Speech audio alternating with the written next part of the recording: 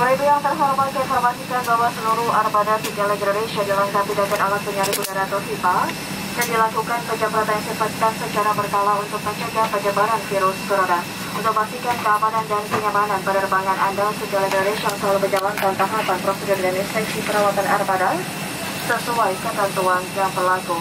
Saat penerbangan daripada ibu dibongkar untuk menempati tempat duduk sesuai dengan boarding pass, hindari menjatuh barang bawaan milik penumpang lain. Mencuci tangan dengan sabun atau penggunaan hand sanitizer membatasi mobilisasi dan interaksi, serta menjaga jarak dan menghindari kerumunan termasuk pada saat akan menggunakan kamar kecil.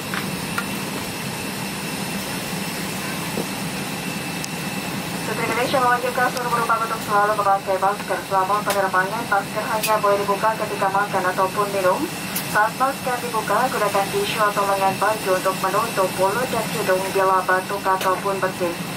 Boleh dapat semua masker atau alat pelindung diri lainnya yang telah terpakai ke tempat sampah di dalam kabar kecil. Pelanggaran terhadap kewajiban menggunakan masker dikenakan sanksi tegas. Informasikan bahwa diskusi nomor 29 sampai 31 GE dan F merupakan area karantina diperuntukkan bagi penumpang yang mendadak mengalami gangguan kesehatan pada saat penerbangan. Sebagai informasi saat ini pada ibu terbang bersama awak pesawat yang telah divaksinasi COVID-19 secara lengkap. Terima kasih dari pada dan sebagai 5 untuk penanganan keamanan COVID-19 ke maskapai berbiaya hebat bintang amat.